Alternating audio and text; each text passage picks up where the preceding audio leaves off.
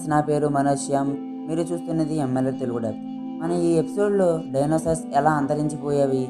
ఆ రోజు అసలు వాటికి ఏం జరిగిందో చూద్దాం పదండి. ఒకప్పుడు సమయం ఇలా కూడా ఉండేది. అప్పుడు మన భూమిపైన మహాజైత్య జీవులు జీవించేవి. వాటి పేరు డైనోసార్స్ ఇప్పుడు మీరు ఈ భూమిపైన ప్రశాంతంగా జీవిస్తున్నారు. కానీ ఒకానొక సమయంలో ఈ భూమిపైన చాలా భయంకరమైన డైనోసార్స్ నివసించేవి.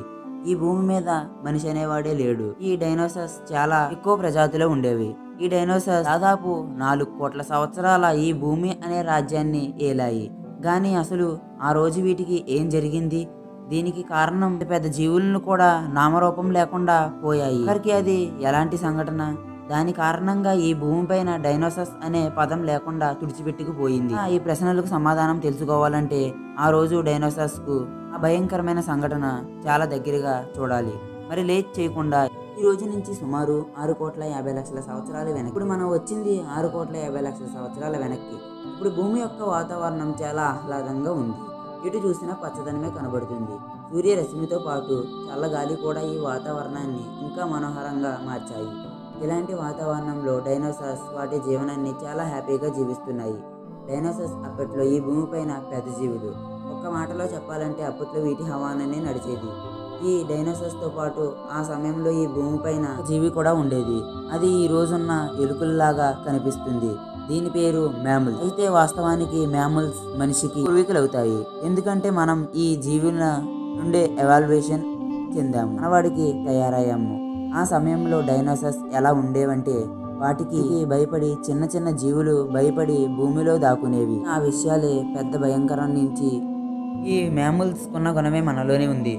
కొన్ని కోట్ల సంవత్సరాల నుంచి కూడా ఈ డైనోసార్స్ వాటి సంఖ్య పెంచుకుంటూ వీటి జీవనాన్ని సాగిస్తున్నాయి. ఆ సమయంలో వీటికి ఎలాంటి అవగాహన లేదు. ఇవి ఒక పెద్ద ప్రమాదానికి గురవబోతున్నాయని. అప్పుడు టెన్ కిలోమీటర్స్ డయామీటర్స్తో ఉన్న ఒక ఆస్ట్రాయిడ్ మన భూమిని దాడి చేయడానికి చాలా వేగంతో వస్తుంది. భూమి యొక్క గ్రావిటేషనల్ ఫీల్డ్లోకి రాగానే దీని వేగం మరింత పెరిగిపోయింది. ఇది ఎంతలా పెరిగిపోయిందంటే సుమారు గంటకు ఏడు వేల కిలోమీటర్ల వేగంతో ఎర్త్ యొక్క అట్మాస్ఫియర్ ఎంటర్ అయ్యింది. ఎక్కడైతే ఈ విస్ఫోటనం జరిగిందో అక్కడ ఒక నూట ఎనభై కిలోమీటర్ల మరియు ఇరవై కిలోమీటర్ల లోతున్న ఒక పెద్ద లోయ లాంటిది ఏర్పడిందట. మరియు ఈ ప్లేస్లో ఉన్న మ్యాటర్ అంతా అంతరిక్షంలోనికి వెళ్ళి ఒక పెద్ద ధూళి మేఘంగా మారింది. ఈ విస్ఫోటనం అనేది ఎంత పెద్దది అంటే దీని కారణంగా ఒక పెద్ద లేవబోతుంది. భూమిపైన భూకంపం యొక్క తరంగం ఎర్త్ కష్టలో చాలా దూరం వరకు పోయింది. దీని ద్వారా సముద్రంలో ఒక నాలుగు దిక్కుల నుంచి సునామీ ఎల్లబోస్తుంది. ఈ మహా విస్ఫోటనం నుంచి రేడియేషన్ ఎంతలా విడుదలయ్యిందంటే దీని ఎనిమిది వందల కిలోమీటర్ల రేడియస్లో అన్ని జీవులు కాలి బూడిదైపోయాయి. అప్పుడు ఈ భూమిపైన ఏదైనా శబ్దాలు వినిపిస్తున్నాయంటే అవి చనిపోతున్న ఈ డైనోసార్స్ యొక్క అరుపులు మాత్రమే. ఈ విస్ఫోటనం నుంచి ఎగిరే డైనోసార్స్ తప్పించుకున్నాయి. అయితే ఇది మహా ప్రళయానికి ప్రారంభం మాత్రమే. ఈ మహా విస్ఫోటనం ద్వారా కొన్ని లక్షల టన్నుల మ్యాటర్ అంతరిక్షంలోనికి వెళ్ళింది.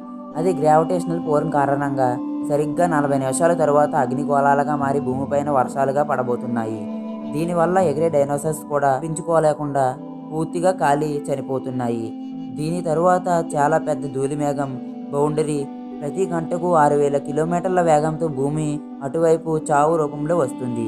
ఈ ధూళిమేఘం చాలా కిలోమీటర్ల డెన్స్ ఉంది. దీనివల్ల సూర్యరశ్మి ఎంతలా ఏ విధంగానూ భూమి చేరుకోవడం లేదు. ఇది చాలా కాలం పాటు ఇలాగే ఉంది. సన్లైట్ లేకపోవడంతో ఈ భూమిపైన అన్ని చెట్లు చనిపోయాయి. ఇప్పుడు భూమి యొక్క పరిస్థితి నరకంలాగా మారింది. ఇలాంటి నల్లటి మేఘాలు భూమిని నలుదిక్కలా కమ్మేస్తున్నాయి. ఒకవేళ మన మానవులం ఈ భూమిపైన ఉంటే ఎప్పుడో కనిపించకుండా పోయేవాళ్ళం. దీని భూమి యొక్క temperature two thousand degree Celsius వరకు పెరిగిపోయింది. విస్ఫోటనం జరిగిన చోటు నుంచి కొన్ని వేల కిలోమీటర్ల ఉన్న డైనోసార్స్ కూడా వాటి ప్రాణాలు కాపాడుకోలేకపోయాయి. అన్నీ చాలా బాధలు అనుభవించి వాటి ప్రాణాలు విడిచాయి. ఈ మహాప్రళయంలో ఎన్నో జీవరాశులు పూర్తిగా అంతరించిపోయాయి. కానీ కొన్ని క్షణాల ముందర ఇవి వాటి జీవనాన్ని చాలా సంతోషంగా గడిపేవి. కానీ ఇప్పుడు ఆ ప్లేస్లు శవాలుగా పడి ఉన్నాయి. ఈ మహానంగా ఈ భూమి మీద తొంభై శాతం జీవులు పూర్తిగా అంతరించిపోయాయి. ఈ భూమి మీద ఇరవై ఐదు కేజీల మించి అన్ని జీవులు చనిపోయాయి. ఈ సమయంలో కొన్ని లక్షల సంఖ్యలో జీవులు చనిపోయాయి. చెట్లు కూడా కాలి మసైపోయాయి. కానీ ఈ మహాప్రలయం చిన్న జీవులకు ఒక వరంలాగా మారింది. ఆ ప్రజాతే మ్యాముల్. ఇవి ఈ మహా విస్ఫోటం నుంచి అయితే తప్పించుకున్నాయి. అయితే దాటిగా వేడిని తట్టుకోవడానికి ఇవి ఇంటిని భూమిలో కట్టుకున్నాయి. ఇవి వాటి ప్రాణాలు కాపాడుకున్నాయి. దొరికిందల్లా తినడం మొదలు పెట్టాయి ఈ డైనోసర్స్ యొక్క ఫోకస్ మనకు భవిష్యత్తులో దొరుకుతాయి. అప్పుడు మనకు వాటి ద్వారా తెలుస్తుంది. ఈ భూమిని పాలించేవని. కానొక సమయంలో ఈ భూమిపైన డైనోసార్స్ మేబీ ఇది కూడా జరగవచ్చు. మన మానవ జాతి అంతానికి ఇలాంటిది కూడా కారణం అవుతుందని శాస్త్రవేత్తలు భావిస్తున్నారు. ఫ్రెండ్స్ డైనోసార్స్ ఎలా అంతరించిపోయినాయో వాటి చివరి రోజు గురించి కొన్ని అద్భుత విషయాలు.